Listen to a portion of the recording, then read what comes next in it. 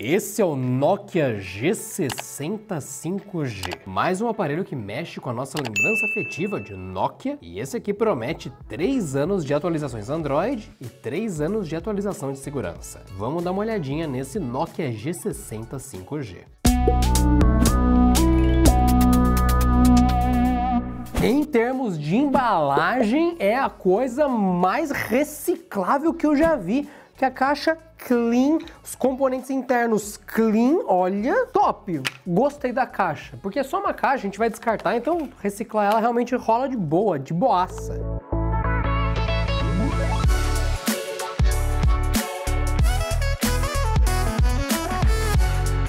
E aqui as informações interessantes. Nossa, tá garrafal isso aqui. Eu, eu gosto desse adesivo quando ele está bem colocado, porque querendo ou não é o primeiro contato que a pessoa vai ter com o celular e é interessante. O que eu gostei logo de cara é que aqui atrás tem uma textura, vocês estão vendo aí na nossa câmera, uma ilusão de ótica, como se tivesse umas gotinhas de água, como se tivesse umas manchinhas assim. Só que isso não é uma ilusão não, viu?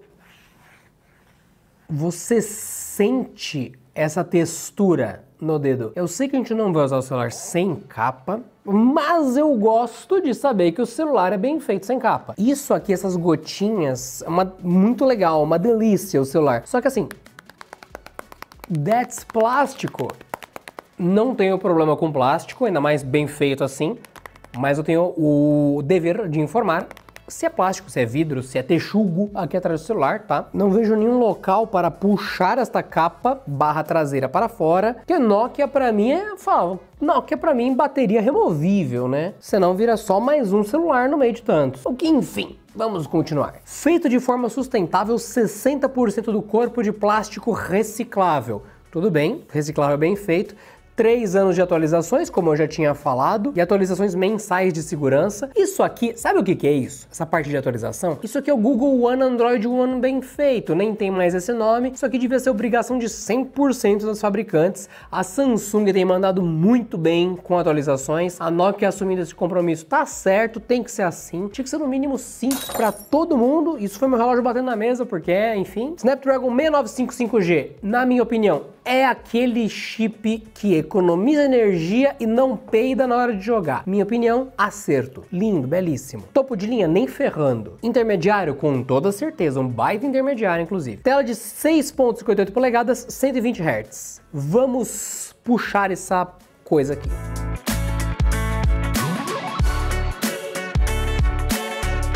Pior que esse adesivo tá bem feito pra caramba, eu gostei, não. Até agora, nenhuma crítica no visual, mas na parte prática eu já teria várias. Preço, provavelmente eu vou ter crítica também, porque querendo ou não é a parte que descompensa muita coisa.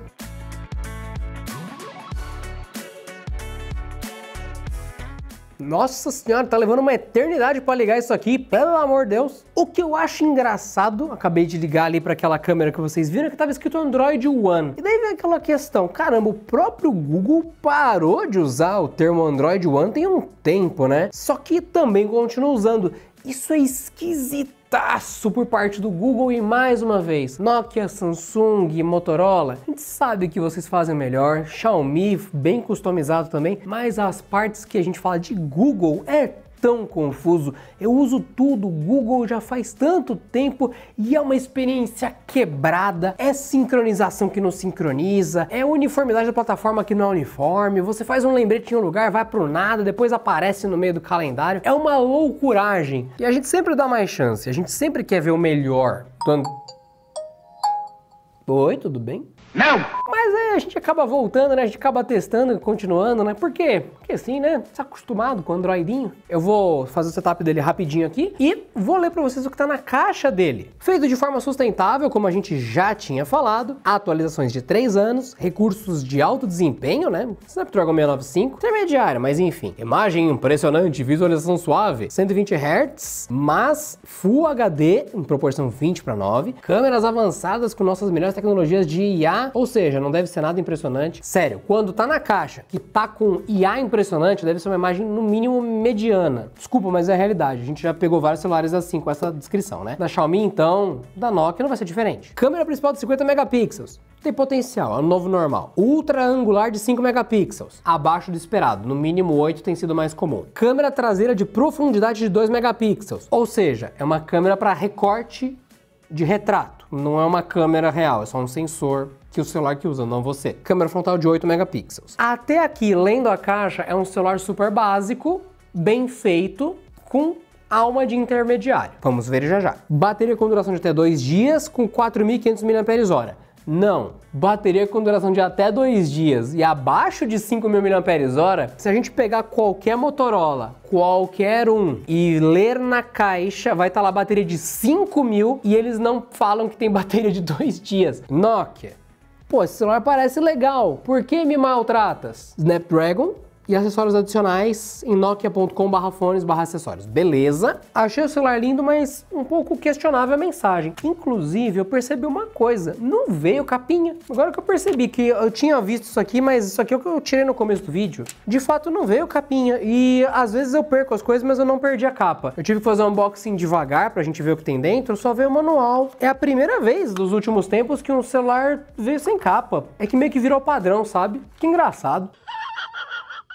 Mas, contrariando expectativas, ele veio com o fone de ouvido. Eu acho que normalmente a gente prefere uma capa do que um fone, mas enfim. E no cabo, só para constar USB-C nas duas pontas, no carregador eu não li para vocês quantos watts. E tem uma saída de 20 watts. Opa, o carregador é bom. Ó, 12 volts a 1.67 ampere, 9 volts a 2.23 e 5 volts a 3 ampere. Adaptativo de três estágios. É um carregador legal. Não é super ultra mega top, mas rápido sim. Poxa, essa bateria podia ser de 5 mil. O fone tem aquele som de fone comum. Não tem? Mas eu vou dar uma, uma nota de ouvi-lo. Aquele fone tipo aberto, a ideia não é ter isolamento do som. Por incrível que pareça, meu celular ainda tem isso aqui. O Nokia G60 tem a entradinha de fone de ouvido. Vamos ver se o fonezinho vale a pena. Vamos ver.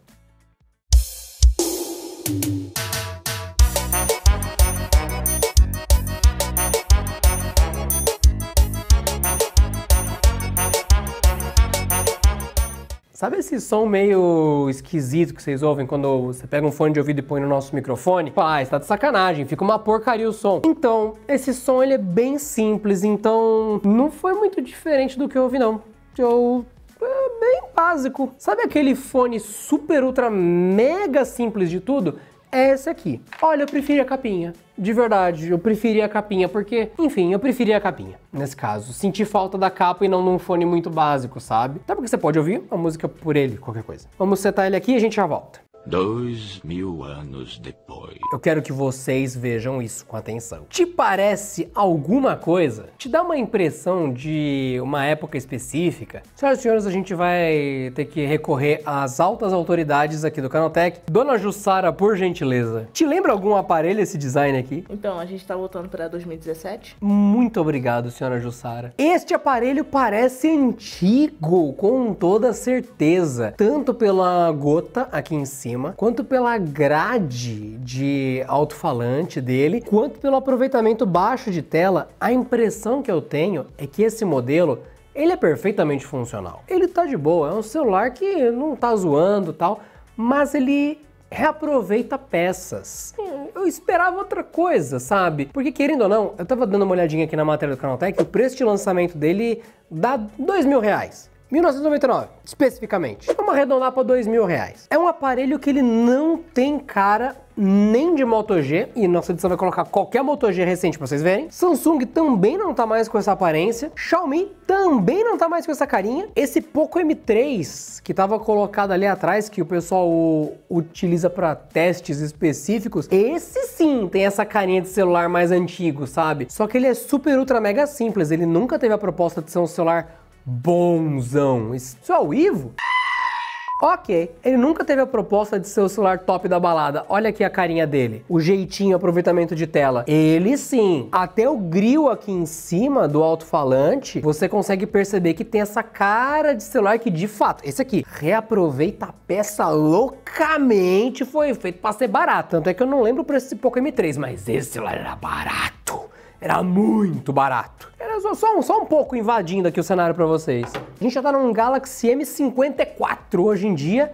Esse Galaxy M51, três gerações para trás, não tem essa carinha. Aí eu pego este aparelho aqui, é estranho, sabe? Eu realmente não esperaria essa carinha. 4.500 de bateria e esse jeito dele mais, sei lá, ele me parece muito mais um celular que mistura a proposta de entrada com o chip de intermediário. Mas enfim, essa é a primeira impressão. É um celular que, não sei, me parece confuso, mas olha só, essa é que vocês não vão conseguir sentir. Olha 120 Hz, ó, o bichinho aqui cantando, ó. Mas não tem negócio, né? Eu posso não ter curtido muito a aparência dele, o G da construção, mas Snapdragon 695 já é legal. Tela 120 Hz, sempre legal. Pô, bicho tá nervoso aqui. Bom, necessariamente a gente vai fazer o quê? A gente vai fazer o teste mais. Nossa, tá rápido. Câmera 2.0. É um novo conceito de câmera, a câmera 2.0. É raro pegar Nokia aqui no canal, então é interessante a gente ter esse contato. Câmera 2.0, modo noturno 2.0, modo tripé, visão sombria. Que isso? É o... Uma pergunta cretina, respondendo a sua pergunta idiota. Eu me senti o esqueleto do He-Man, cara. Visão sombria! Vamos, lacaios, vamos capturá-lo com a nossa visão sombria. Retrato de IA, flash shot e o painel de mais configurações. Nossa! Ou a interface. É, é isso que eu tô falando. As minhas críticas elas existem porque nada é perfeito, mas olha só a interface Nokia como tá muito mais interessante. Modo de tripé explicando como que funciona. Ah, aqui a visão sombria. Ativa automaticamente ambientes extremamente escuros para capturar detalhes incríveis. Tá, aí chegando naquela coisa que eu falei, exagero. Xiaomi também tem AI, dá descrições exageradas de uma coisa que todos os celulares Android têm. Não é uma crítica de algo ruim, não, é só colocando na realidade. Interessante a interface, mas tá muito elogioso. Olha, em geral a interface é bem simplificada, não é simplificada ao extremo extremo. Interessante para quem não está acostumado a fazer de fato muita foto. Ele explica bem como a coisa funciona. E assim, como o modo mais diferente dele é o modo retrato, eu vou fazer duas coisas. Primeiro, tirar uma foto.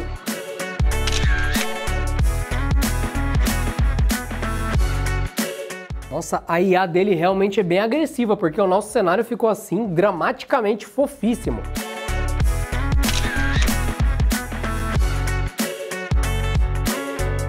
Vocês viram no modo normal e no modo retrato? Interessante. Dona Jussara, vou fazer um retrato de ti, porque ele tem aqui o modo de desfoque. Venha mais perto. É, ele tá tendo dificuldade de fazer o equilíbrio de branco da sua camiseta Olha e da luz de fundo. Se liga. Com amarelo fundo, ó. Sim, sim. E minha pele também tá meio amarela, esverdeada um pouquinho. Porque acho que ele pegou a Você ficou com blur também. É. Ele pegou a tonalidade da planta. Mas é aquele negócio, o IA dele é bem agressivo mesmo, o sofá ficou de uma outra cor. Sabe por que é um bom comparativo? Porque vocês estão vendo na nossa câmera qual é a cor real, a gente calibra as nossas câmeras para ser mais realista, e aqui vocês viram como que a foto dele ficou. Agora, dona Jussara, vamos fazer o recorte de fundo. Pode chegar mais perto que a gente vai usar o modo, retre... o modo retreito. Entendi. Só um instante, Wonder Woman versus o modo fotografia normal. Vamos ver. Ó, aqui ele perdeu o equilíbrio de branco. Sim. Nossa, Desculpa. estourou muito é, fundo. É, ele perdeu a exposição, o balanço de branco tava mais certo, mas a exposição foi... Foi pra Nárnia. Vamos ver o desfoque do seu cabelo. É, cortou certo, tá branco também de fundo, não é tão Sim. difícil. Deu seu uma cab... limpeza na minha pele, uma bela limpeza. Tá suavizada. Muito obrigado, senhora Jussara. Vamos ver o pombo só por curiosidade, apesar de não ter macro. Vamos ver o pombo como é que tá hoje. E aí, Jeffrey? Suave, Dom? Olha, sendo sincero aqui para vocês, dados interessantes, intermediários, naturalmente. É, não mandou mal, de forma alguma. Seria sacanagem dizer que as fotos ficaram ruins. Não ficaram, tá? Então, como intermediário até agora, ok.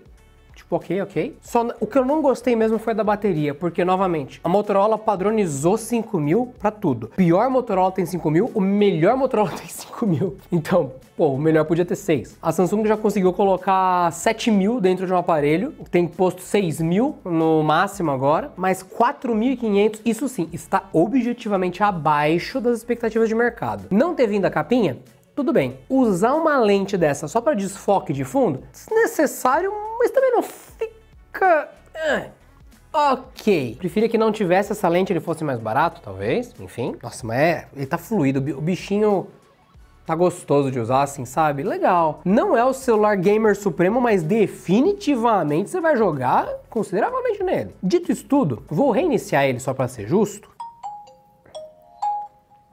Tá reiniciado bicho. Bom, vai ser justo o nosso benchmark só para situar vocês melhor. Perfeito. Então, podemos rodar o nosso benchmark. Para ser mais justo ainda, eu vou desativar os 120 Hz, como eu sempre costumo fazer, para deixar o processador mais solto possível. Taxa de atualização está adaptável. Vou deixar em padrão para ficar em 60 Hz.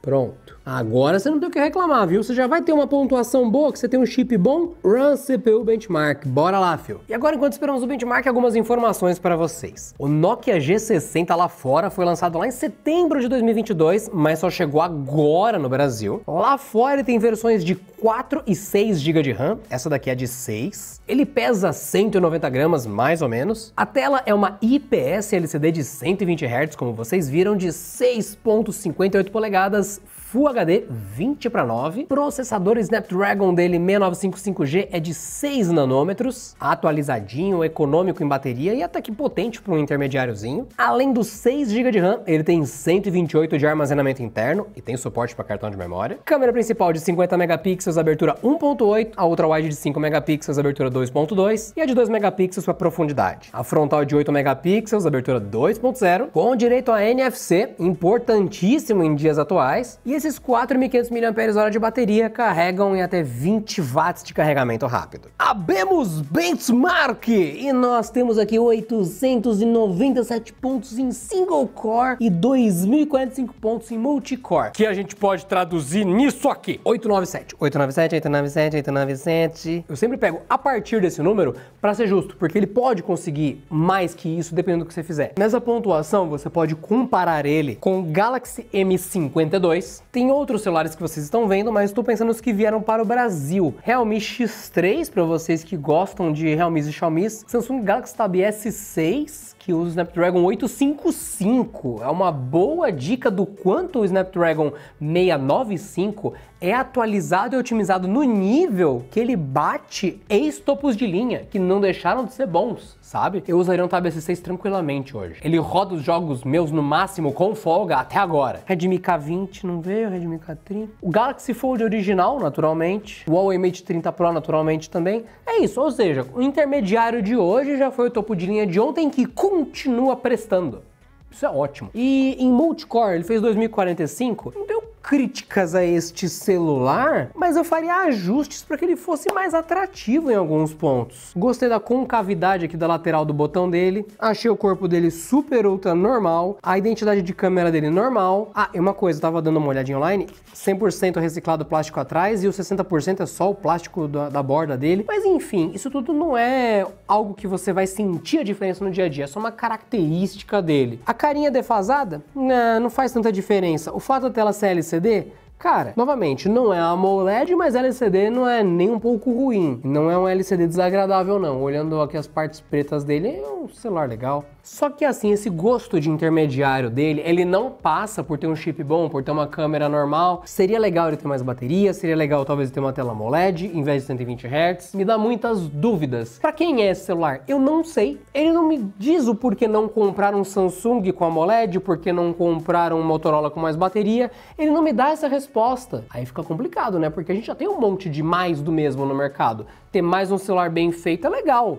Mas e o resto? Eu diria que esse celular olhando aqui pelos menus dele e olhando por todo o jeitinho dele de não ter nada instalado, nenhuma porcariada, que esse aqui é o novo Android puro com ressalvas. Com muitas ressalvas, claro, até porque vocês viram que a câmera tinha alguns guiazinhos ali e tudo mais. Tem algumas coisas pré-instaladas da Nokia sim, Nokia que agora é HMD Global, mas não senti nada negativo nesse celular. Também não senti nada positivo que justifique ele. Pelo preço certo, entrando em promoção, depois desse momento de lançamento que ele chega com um preço estranho, cara, isso aqui é uma baita opção. E onde você acha esse celular? Acha no ofertas.canaltech.com.br. No ofertas.canaltech.com.br não só esse celular, como todos os outros, desde iPhones até Androids, aparecem em promoção. Ofertas.canaltech.com.br entre hoje mesmo e troque de celular com desconto.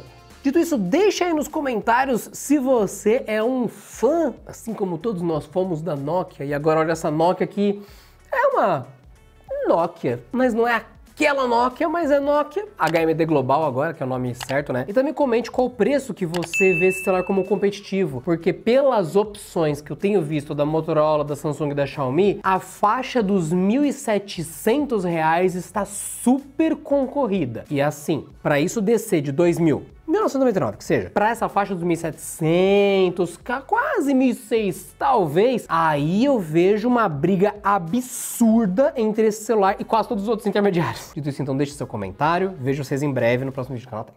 Tchau, tchau.